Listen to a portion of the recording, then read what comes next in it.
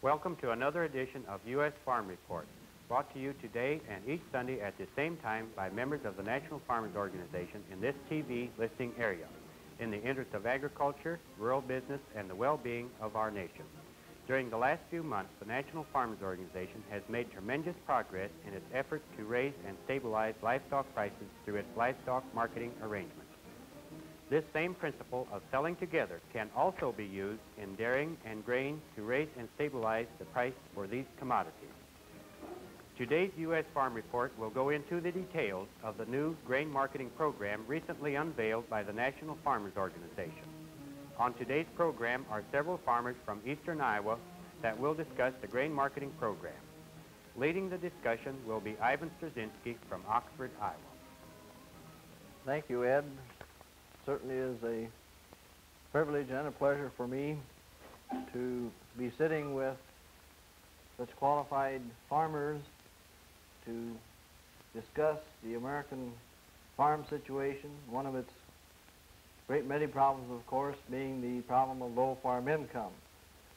With us today, we have to better explain and also help the American farmer to better understand the aims and goals of the National Farmers Organization. I'd like to introduce to my right Mr. Cliff Olson from Cedar Falls, Iowa, Black Hawk County. He's the county chairman who will be giving us details on the grain sales agreements.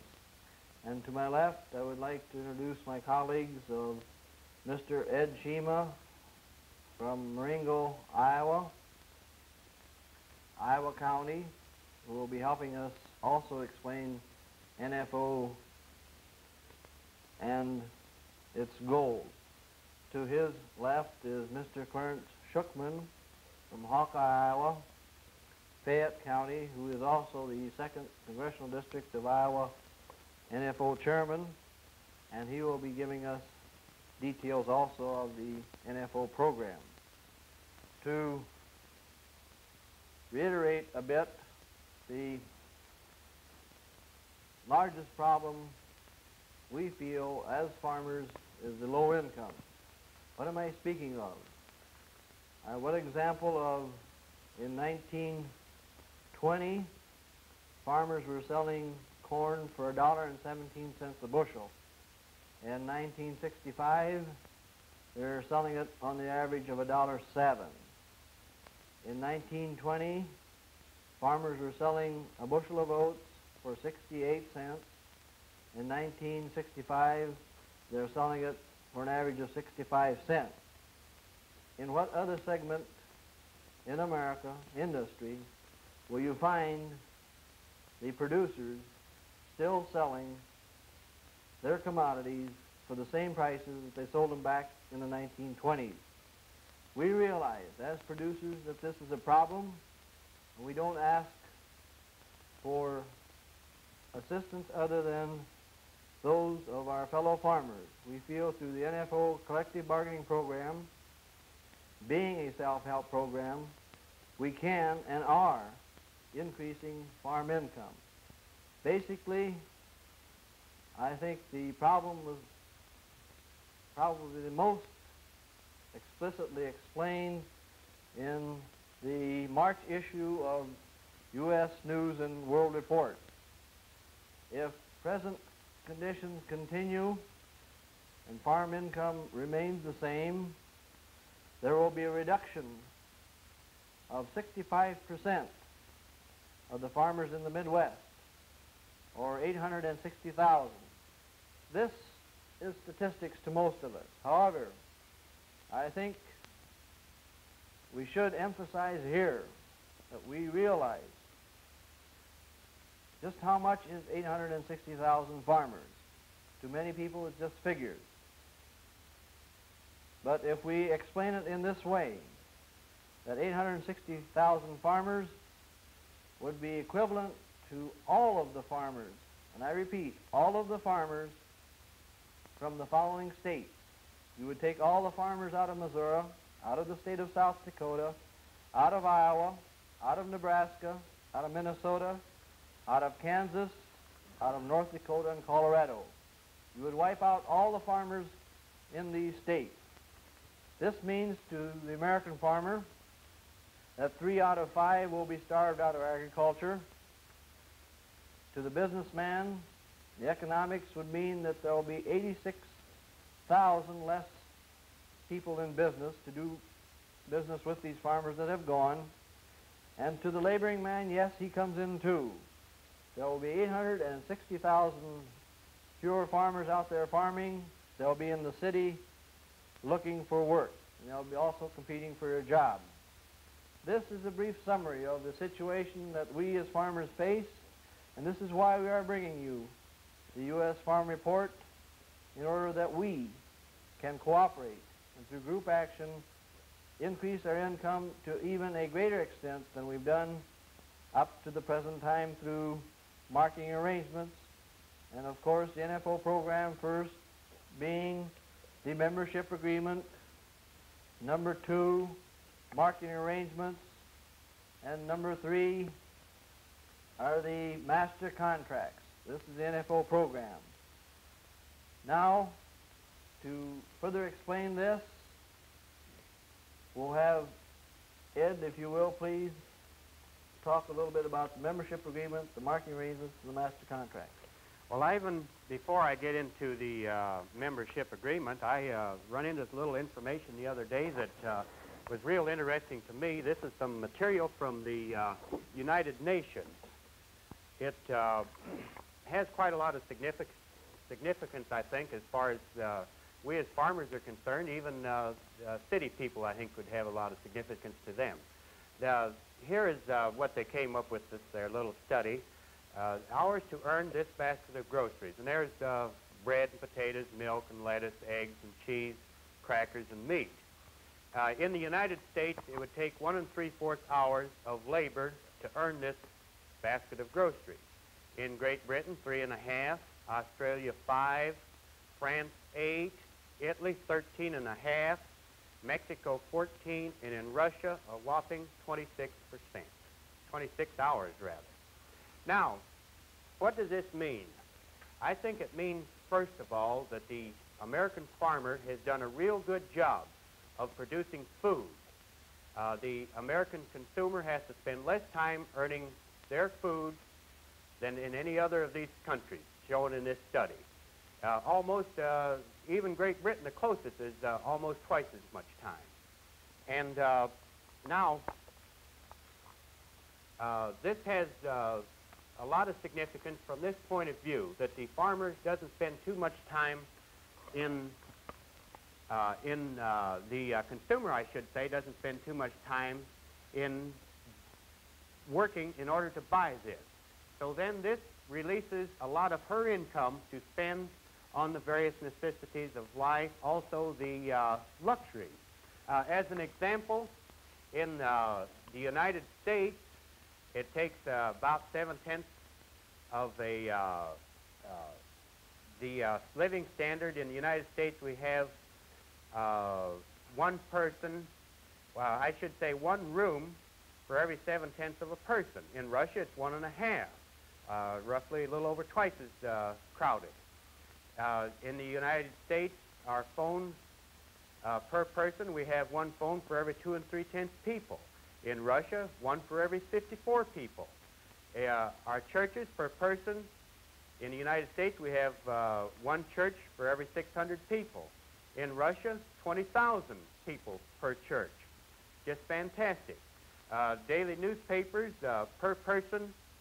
Um, in the United States, there's 110,000 people for every daily newspaper. In Russia, 8,300,000 people for each daily newspaper. Uh, as far as private farms are concerned, we have 3,700,000 uh, in the United States. Russia has none. Private business in the United States, we have 4,797,000 private businesses. Russia has none. This then points out the uh, fact that because of the, the consumer spends a relatively small amount of her time earning the uh, amount of money it takes to buy her food, she then has the rest of this income left over to buy these various luxuries. And uh, now what does this mean as far as the farmer is concerned? It means then that he is, uh, here you have one and three-fourths hours. Now, surprisingly, the American farmer gets very little uh, of this one and three-quarter hours. To be specific, uh, recently the uh, farm has been receiving 38% of the uh, consumer dollar spent for food. The middleman has been getting roughly 62%. Now, what does this figure out to in terms of uh, hours or minutes? It figures out to this. For uh, uh, one and three-quarter hours is approximately 105 minutes. Now, of this, the farmer gets 39 and 9 tenths minutes. The uh, middleman gets 65 and 1 tenth minutes. Now, what if the farmer were to uh, get a higher price for his product, a fair price in relationship to the production expenses and so on, what would it amount to to the consumer? Well, as far as uh, we and the NFO are concerned, uh, the amount that we would probably be raising the price to our master contracts with the various processors would be about 20% to the farmer. What would this 20% mean to the consumer?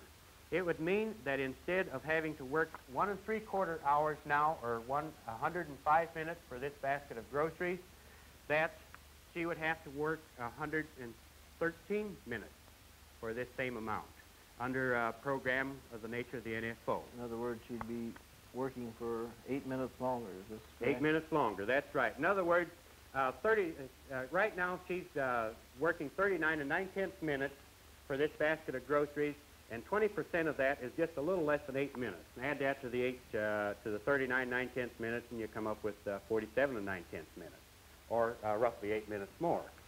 So then, we have, ladies and gentlemen, a situation where I think it would be not be out of reason at all for the consumer to uh, expect her to pay the farmer a little bit more. And uh, in doing this, it would help the farm income. It would, uh, the farm income basically is regenerated through the economy uh, roughly seven times. This is pretty well proven by government statistics. And uh, this would do a lot uh, for the economy as a whole. All right. Well, thank you, Ed, for those very interesting remarks, and certainly the point that you have brought out here certainly needs repeating, and that at the present day, the American consumer is getting his best buy in food ever. In other words, he's spending something like about 19% of his disposable income for food, which certainly is a bargain. And as Ed has pointed out, she would only have to work eight minutes longer to earn a market basket. Now to talk about the primary purpose of our program, the grain program, grain sales agreements. And I know that the farmers viewing this program certainly have a lot of questions. We'll try to cover it generally to help you understand. However, the details, of course, will have to be obtained at your local county meetings. Now, the NFO has unveiled a new grain marketing program, and to lead the discussion on this, we'll have Cliff do this for us. Cliff, how does the present grain sales agreement differ from our previous voluntary sales agreements? Well, I think the main difference in our, uh, this new voluntary grain sales agreement that we have at the present time differs in previous ones in the fact that there are stipulated selling periods in this agreement. Uh, the first period starts from harvest time through January 15th. And the second one, second selling period, goes from January 16th through March 15th of 1966. And the third one is March 16th through May 15th of 1966. And the fourth period will be May 16th through August 15th of 1966. Now, in previous voluntary grain sales agreement, there was no stipulated time as to when the grain or commodity would be sold.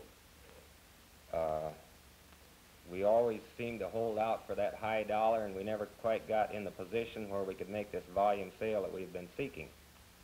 Uh, on these present uh, grain sales agreements, it's stipulated that the grain will definitely be sold within the period in which it has been signed up for. And uh, the only time that it would not be sold in this period is in the event that the market price was below the support price. Then this, there is a rider policy that can go along with this, which would uh, prevent the NFO from selling this farmer's grain. Uh, we don't anticipate any situation such as this, but uh, it is just a little bit insurance that's put in there to protect the man who is eligible to seal his grain. Okay, fine, uh, Cliff. And it seems to me another question at this time comes up is uh, just how many grains uh, does NFO uh, have these sales agreements for? Is it just for corn or just for soybeans or oats or just, how many are there, Cliff? Well, there are, there are quite a list of grains. Uh, really, in our own local area, we possibly refer to maybe three or four different grains. But uh, throughout the Midwest here in the great grain producing area that we are in, there, they include barley, oats, rye, flaxseed, millet, wheat, edible beans, grain sorghum, soybeans, and both yellow and white corn. So there are quite a variety of grains that are included in these voluntary grain sales agreements.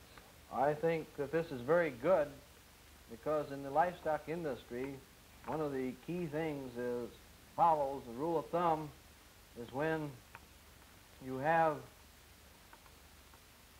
cheap grains, it also follows that you also have cheap livestock.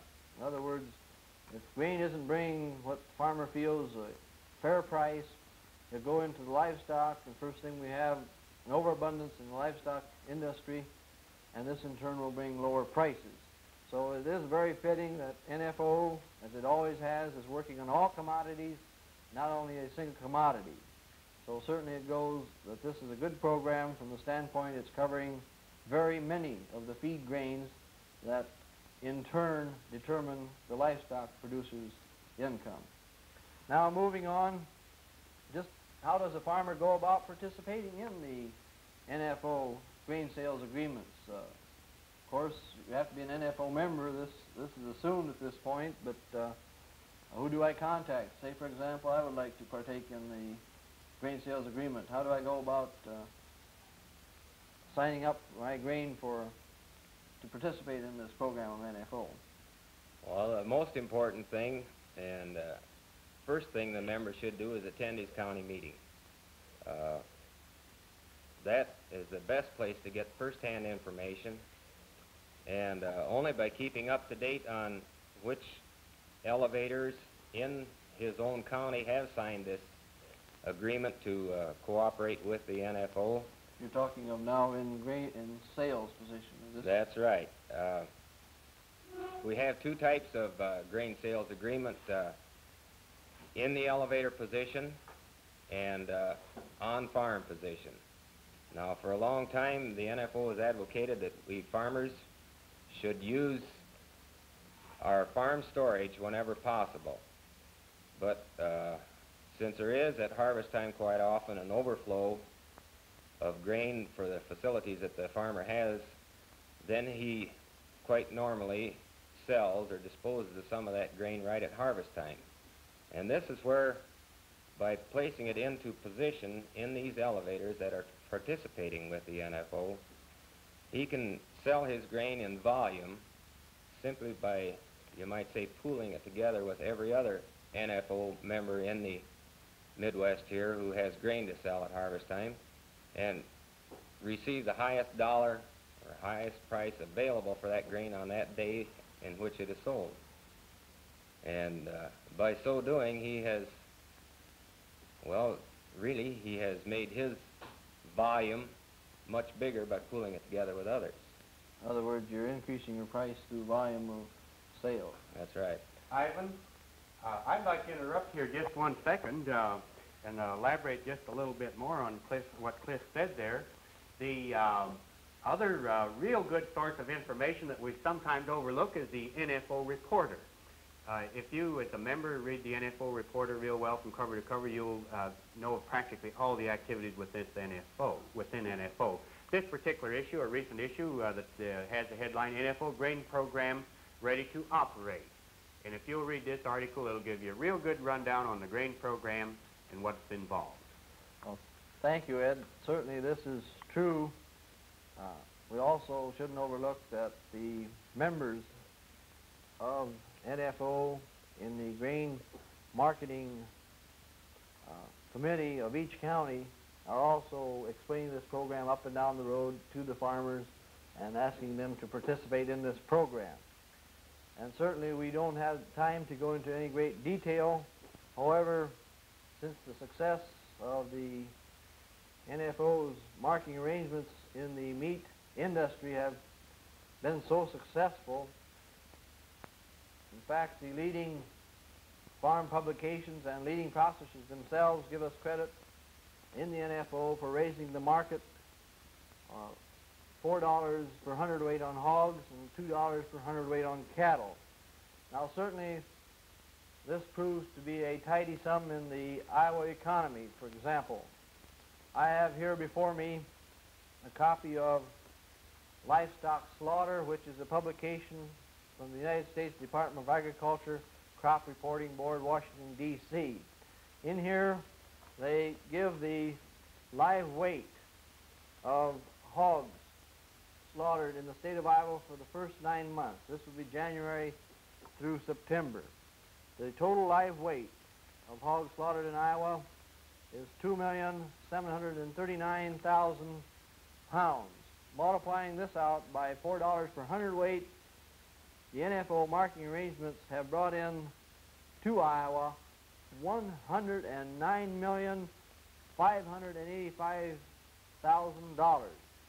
This would be the equivalent of each county in Iowa receiving one industry, one new basic industry employing 400 people at the rate of $100 per week. This certainly needs watching, it needs encouragement. If we were to include cattle in this amount, using the conservative figure that the NFO marketing arrangements have raised the cattle price $2, this would bring in something like $60 million. Adding these two together for the first nine months, we could project it for the year, which we will, assuming we sell cattle and hogs relatively on the same basis we have in the past nine months for the next three months, this would bring in an income into the state of Iowa alone of $212 million. And I just read in the newspaper the other day that the federal feed grains program payments to the state of Iowa have been approximately $215 million. Here the NFO has brought income into the state of Iowa and not a tax dollar has been spent. To explain a little of the meat marketing arrangements, we're going to call on Clarence Shuckman to do this for us. Would you give us some of your experience in the meat marketing arrangements? Thank you, Ivan. The meat marketing arrangement in my area, which is the northeast Iowa, has been very successful. we found, uh, first we started with the idea that we would see if farmers together could market together. We proved to ourselves and to everyone else that we could. And in this marketing, we got a lot of side benefits, which we did not expect to get. We proved to ourselves by uh, weighing our livestock before we shipped it that we could send hogs 300 miles and get about a 3% shrink. We were told that we would get much more than this. We uh, also checked at our local prices and find, uh, found out that in doing this, we also made money.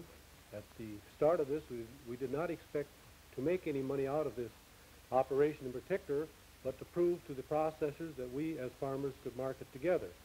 And over, as Ivan just told you, over the whole area, it's worked very successful and has raised the income of all farmers, NFO members, and non-members alike. So I would say it's been very successful, Ivan. Thank you, Clarence.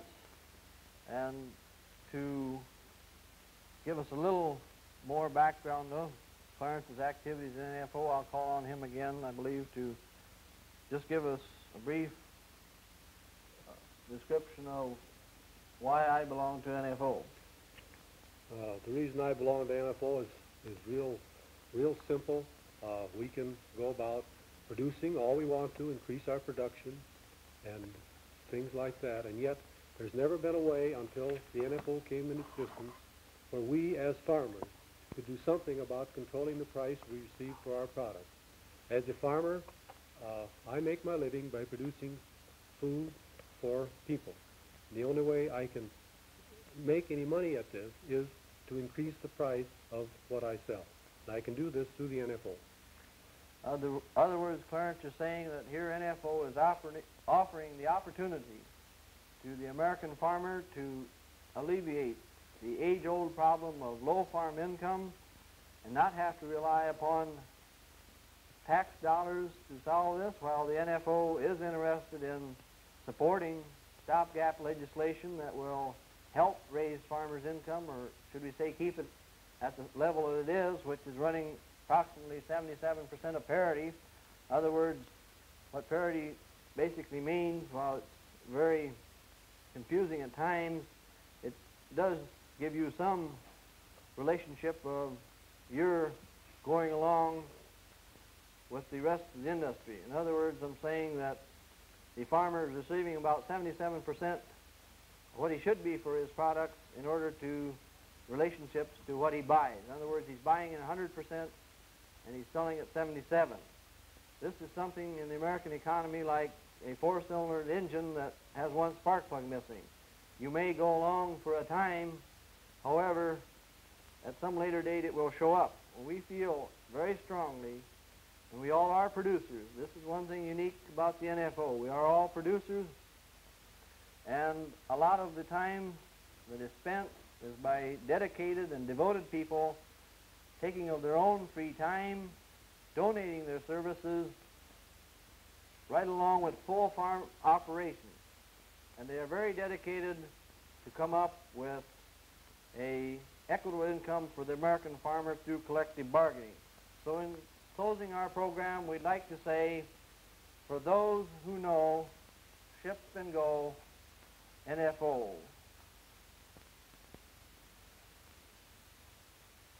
Farmers for a healthy and stable farm economy, join the NFO. Help strengthen farmers' bargaining power by marketing your grain and livestock with your neighbors through the new, modern NFO marketing arrangements that have been set up in your county. Tune in again next Sunday at the same time for another edition of U.S. Farm Report.